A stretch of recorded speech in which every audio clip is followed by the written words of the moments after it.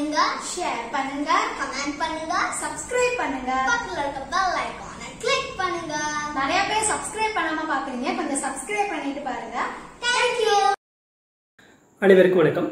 நான் Santhanam chartered accountant இப்போ நம்ம பார்க்க போகிறது பொன்மகன் சேமிப்பு திட்டம் அப்படிங்கிறது. இப்போது நம்ம சேனலில் ஆல்ரெடி பொன் குழந்தைகளுக்காக செல்வமகள் சேமிப்பு திட்டம் அப்படிங்கிறது ஒரு வீடியோ ஒன்று போட்டிருக்கோம். ஸோ நீங்கள் பார்த்தீங்கன்னா உங்களுக்கு ஒரு கிளாரிட்டி கிடைக்கும்.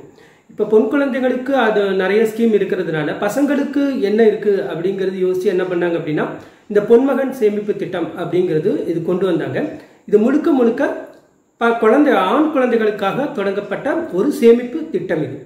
சரி இது வந்து எங்கே தொடங்குறோம் நம்ம அப்படின்னா இதில் வந்து போஸ்ட் ஆஃபீஸில் போய் நீங்கள் உங்கள் நீங்கள் இருக்கிற ஏரியாவுக்கு பக்கத்தில் உள்ள போஸ்ட் ஆஃபீஸில் போய் கேட்டிங்க அப்படின்னா இந்த பொன்மகன் வைப்பு நிதி திட்டம் அப்படிங்கிறது கே- கேட்டிங்க அப்படின்னா அவங்க வந்து எக்ஸ்பிளைன் பண்ணுவாங்க என்ன ஸ்கீம் அப்படின்னு சொல்லிட்டு. இதை வந்து இந்த ஸ்கீமோட சிறப்பம்சம் என்ன அப்படிங்கிறது பார்த்தோன்னு வச்சுக்கோங்களேன். இதில் இன்ட்ரெஸ்ட் ரேட் வந்து அதிகமான இன்ட்ரெஸ்ட் ரேட்டு கிடைக்குது.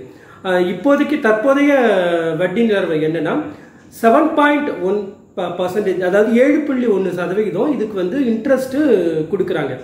இது வந்து ஒரு ரிஸ்க் ஃப்ரீ கவர்மெண்ட் செக்யூரிட்டி இது பாதுகாப்பான முதலீடு. பெரிய அளவில் ரிஸ்கெல்லாம் எதுவும் இருக்காது. ஆனால் அதே சமயத்தில் வட்டி அப்படிங்கிறத பார்த்தோம் அப்படின்னா ஏழு புள்ளி ஒன்று சதவிகிதம் இருக்குது. நார்மலாக மற்ற நீங்கள் பேங்க் டெபாசிட்டில் பார்த்தீங்க அப்படின்னா இதை விட கம்மியாக தான் இருக்கும். அல்லது அதிக ரிஸ்க் எடுத்து நீங்கள் என்ன பண்ணலாம் அப்படின்னா ஷேர்ஸ்லையோ டிவிடெண்டில் போட்டிங்க அப்படின்னா ரிட்டர்ன் இதை விட அதிகம் கிடைக்கலாம். ஆனால் என்ன என்ன நடக்க அப்படி ரிஸ்க்கும் ஜாஸ்தி. நீங்கள் மற்ற செக்யூரிட்டிஸில் பண்ணீங்க அப்படின்னா அதுக்கு டேக்ஸ் எல்லாம் கட்டுற மாதிரி இருக்கணும். ஆனால் இந்த பொன்மகன் சேமிப்பு திட்டத்தை பொறுத்த வரைக்கும் வரக்கூடிய வட்டிக்கு வந்து என்ன பண்ணால் வருமான வரி கட்ட தேவையில்லை. அதே மாதிரி பார்த்தீங்கன்னா மெச்சூரிட்டி அமௌண்ட் நம்ம இந்த ஸ்கீம் வந்து மெச்சூரிட்டி ஆகுது இல்லையா?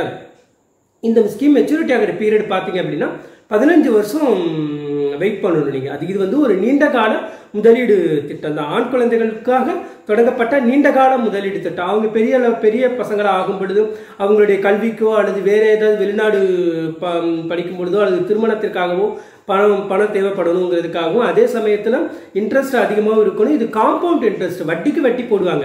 ஸோ உங்களுக்கு பதினஞ்சு வருஷம் எண்டில் பார்த்தீங்க அப்படின்னா உங்களுக்கு ரிஸ்க் ஃப்ரீலேயே அதிகமான ரிட்டர்ன் உங்களுக்கு கிடைக்கும். பாதுகாப்பாக இருக்கும்.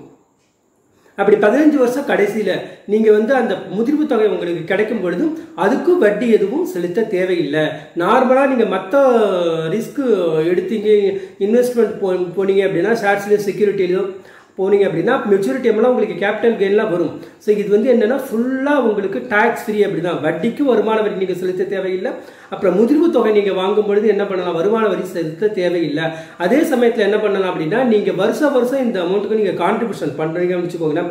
மினிமம் ஃபைவ் ஹண்ட்ரட் பண்ணலாம். மேக்ஸிமம் ஒரு லட்சத்து ஐம்பதாயிரம் வரைக்கும் நீங்கள் பண்ணலாம். அது ஒரு வருஷத்துக்கு.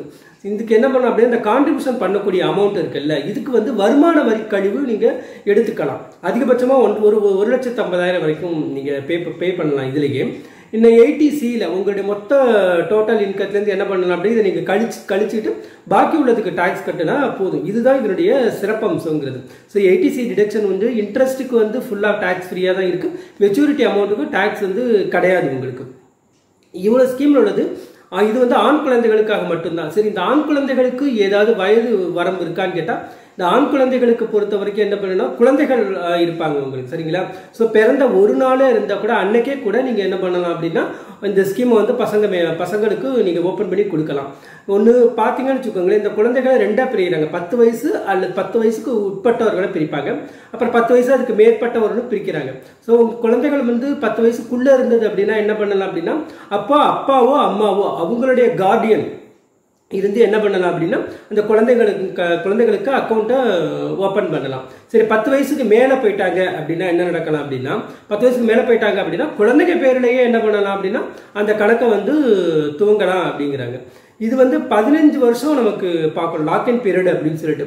ஸோ பதினஞ்சு வருஷம் நம்ம இன்வெஸ்ட்மெண்ட் பண்ணுனா ஃபண்ட் ஃபுல்லாக லாக் ஆகுமே அப்படிங்கிறது பார்த்தீங்க அப்படின்னா இதில் வந்து என்ன பண்ணலாம்? லோன் ஃபெசிலிட்டிஸ்லாம் கொடுத்துருக்காங்க உங்களுக்கு. நீங்கள் அக்கௌண்ட் ஓப்பன் பண்ணி என்ன பண்ணலாம்னா மூணு வருஷம் கழிச்சு என்ன பண்ணலாம்? அதுக்கு வந்து லோன் வந்து நீங்கள் எடுத்துக்கலாம்.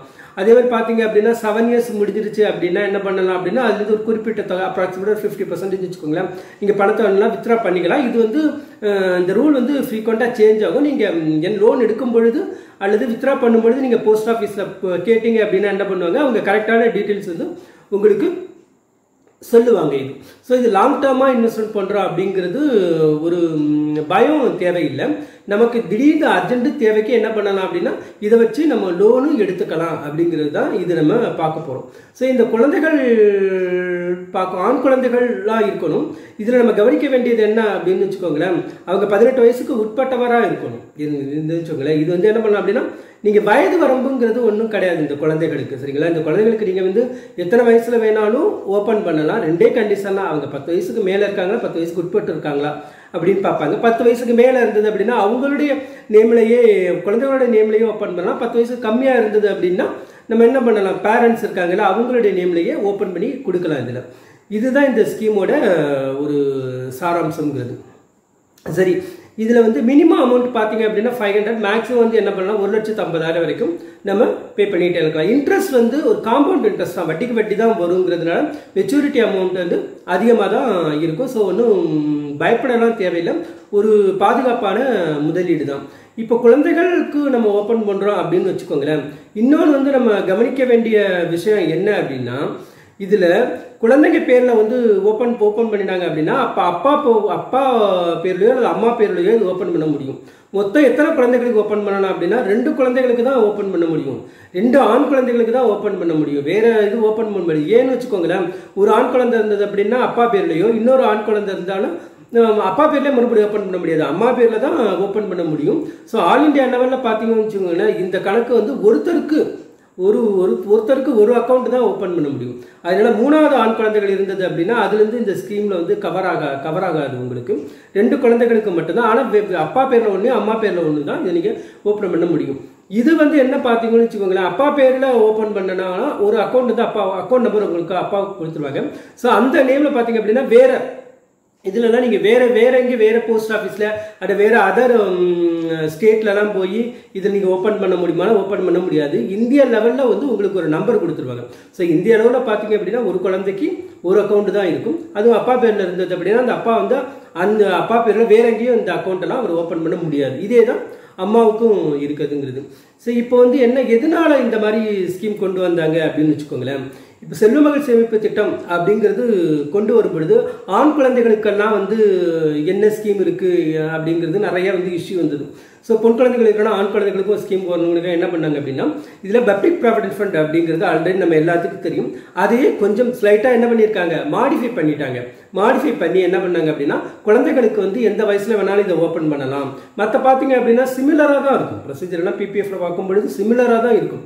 ஸோ உங்களுக்கு என்ன பண்ணணும் அப்படின்னா நீங்கள் ஒரு குழந்தைக்கு சொல்ல மகன் சேமிப்பதில் ஒரு குழந்தையில ப பண்ணிட்டாங்க அப்படின்னா வேறு அக்கௌண்ட்டில் இப்போ ஃபார் எக்ஸாம்பிள் பிபிஎஃப் அப்படின்னா அது ஓப்பன் பண்ண முடியாது. ஏன்னா அப்பாவுக்கும் ஒரு அக்கௌண்ட்டு தான் இருக்கும். ஸோ நீங்கள் என்ன பண்ணணும் அப்படின்னா அந்த மாதிரி உங்களுக்கு ஆல்ரெடி பிபிஎஃப் இருந்தது அப்படின்னா நீங்கள் வந்து போஸ்ட் ஆஃபீஸ் ஸ்கீமில் தெளிவாக கேட்டுக்கணும். கேட்டுட்டு தான் என்ன பண்ணலாம் அப்படின்னா எது உங்களுக்கு ரெண்டுத்தில் பெனிஃபிட்டாக இருக்கோ அதை வந்து நீங்கள் அடாப்ட் பண்ணிக்கலாம் நீங்கள் இன்னொன்று இது வந்து தமிழ்நாட்டு அளவில் தான் பார்த்தீங்க அப்படின்னா பொன்மகன் சேமிப்பு திட்டம் அப்படிங்கிறது அப்படின்னு இருக்கு.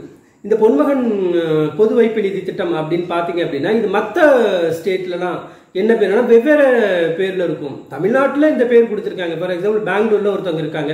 எனக்கு வந்து ஆண் குழந்தைகள் இருக்குது நான் வந்து அங்கே ஓப்பன் பண்ணலாம் அப்படின்னா அது ஓப்பன் பண்ணலாம். ஓப்பன் பண்ணும்போது ஒன்று அங்கே வந்து ஆண் குழந்தைகளுக்கு என்ன இருக்கோ அந்த மாதிரி ஸ்கீம் ஒன்று வச்சுருப்பாங்க. அப்படி இல்லை அப்படின்னா நீங்கள் வந்து பிபிஎஃப் தான் போகணும். பிபிஎஃபோட நைன்ட்டி பர்சன்டேஜ் பிபிஎஃப் தான் இருக்கும். ஸ்லைட்டாக மாடிஃபிகேஷன் அந்த குழந்தைகளுக்கான ஏஜ் இருக்குது பார்த்தீங்களா அதெல்லாம் ரிலாக்ஸ் பண்ணிட்டாங்க. பிபிஎஃப் அப்படிங்கிறது பார்த்தீங்க அப்படின்னா அடல்ட் வந்து ஓப்பன் பண்ணுற மாதிரி இருக்கும். அல்லது மைனராக இருந்தால் பேரண்ட்ஸ் கார்டியனை ஓப்பன் பண்ணலாம். ஆனால் இங்கே என்ன பண்ணியிருக்காங்க அப்படின்னா அதுக்கு பயங்கரமாக உல்ட்டா பண்ணி மாடிஃபை பண்ணி என்ன பண்ணிட்டாங்க அப்படின்னா குழந்தைகளுக்கு ஏஜ் லிமிட் கிடையாது. பத்து வயசுக்கு உள்ளே இருந்ததுன்னா அம்மா அப்பா பேரில் கிளைம் பண்ணலாம். அம்மா அப்பா பேரில் ஓப்பன் பண்ணலாம். பத்து வயசுக்கு மேலே இருந்தது அப்படின்னா குழந்தைங்க பேர்லேயே ஓப்பன் பண்ணலாம் அப்படிங்கிறது. ஸோ கிட்டத்தட்ட என்ன பண்ணுறது அப்படின்னா பிபிஎஃப் உடைய ninety nine point nine percentage தான் இதை ஃபுல்லாக அடாப்ட் பண்ணிக்காங்க கொஞ்சம் ஸ்லைட் சேஞ்சஸ் தான் இருக்கும். ஸோ மற்ற ஸ்டேட்டில் உள்ளவங்க எல்லாம் என்ன பண்ணுறாங்கன்னா ஆண் குழந்தைகளுக்கு இல்லையே அப்படிங்கிறத பற்றி ஒரு கன்ஃபியூஸ் பண்ணிக்க வேண்டாம். அவங்க போஸ்ட் ஆஃபீஸில் ஆண் குழந்தைகளுக்கு உள்ள என்ன ஸ்கீம் அப்படின்னு சொன்னீங்க அப்படின்னா இதே தான் பட் வேறு நேமில் இருக்கும் உங்களுக்கு. நீங்கள் இப்போ வெப்சைட்டில் செக் பண்ணி நீங்கள் பார்த்தீங்க அப்படின்னா மோஸ்ட்லி இதுக்குன்னு தனியாக ஒன்றும் கொடுத்துருக்க மாட்டாங்க நீங்கள் போஸ்ட் ஆஃபீஸ் அக்கௌண்ட்டே போஸ்ட் ஆஃபீஸோட வெப்சைட்டே போய் பார்த்தீங்க அப்படின்னு வச்சுக்கோங்களேன் செல்வமகள் சேமிப்பு திட்டம் இருக்கும். ஆனால் பொன்மகன் வைப்பு சேமிப்பு திட்டம் அப்படிங்கிறதுலாம் இருக்காது. அது என்ன பண்ணியிருப்பாங்க அப்படின்னா பிபிஎஃப்ல நீங்கள் கிளாஸிஃபை பண்ணியிருப்பாங்க ஸோ பிபிஎஃப் அக்கௌண்ட் ஓப்பன் பண்ணுறதா இது ஓப்பன் பண்ணுறதாங்கிறது டிஸ்கஸ் பண்ணீங்க அப்படின்னா அவர் போஸ்ட் ஆஃபீஸ்லேயே உங்களுக்கு கைடன்ஸ் கொடுத்துருவாங்க. ஸோ இது ஃபுல்லாகவே பார்த்தீங்க அப்படின்னா நமக்கு வந்து டேக்ஸ் பெனிஃபிட் நிறைய கிடைக்குது. டேக்ஸ் ஃப்ரீ தான். லாங் டேர்மில் பார்த்தீங்க அப்படின்னா நமக்கு மெச்சூரிட்டி அமௌண்ட்டும் ரொம்ப ஹையாக இருக்கும். ஒரு குழந்தைகளுக்கு பாதுகாப்பான முதலீடாகவும் இருக்கும். இதில் செவன் பாயிண்ட் ஒன்றுங்கிறது அதிகபட்ச இன்ட்ரெஸ்ட் தான். ரிஸ்க் ஃப்ரீ மற்றதோட நீங்கள் போஸ்ட் ஆஃபீஸ் மற்ற ஸ்கீமோட கம்பேர் பண்ணி பார்த்தாலோ அல்லது ஆனால் செல்வமகள் சேமிப்பு திட்டத்தில் இதை விட அதிகம்னு வச்சுக்கோங்களேன் செவன் பாயிண்ட் சிக்ஸ் கொடுக்குறாங்க. பட் இதுக்கு வந்து ஆண் குழந்தைகளுக்கு செவன் பாயிண்ட் ஒன்று தான் அப்படிங்கிறது கொடுக்குறாங்க. ஸோ மற்ற ஃபிக்ஸட் டெபாசிட்டோட கம்பேர் பண்ணி பார்க்கும்போது இதெல்லாம் இன்ட்ரெஸ்ட் ரேட் வந்து ரொம்ப அதிகமாக இருக்கும். ஸோ லாங் டேர்மில் என்ன பண்ணலாம் அப்படின்னா ஒரு பெனிஃபிட்டாக இருக்கும். ஸோ நம்ம லாங் டேர்மில் ஃபண்ட் லாக் ஆகிடுது அப்படிங்கிறது பார்த்தீங்க அப்படின்னா தேவைப்பட்டால் நீங்கள் என்ன பண்ணலாம் அப்படின்னா லோன் அதை எடுத்துக்கலாம். கிட்டத்தட்ட அக்கௌண்ட் ஓப்பன் பண்ணி மூணு வருஷம் கழிச்சு என்ன பண்ணலாம் அப்படின்னா நீங்கள் லோன் எடுத்துக்கலாம்.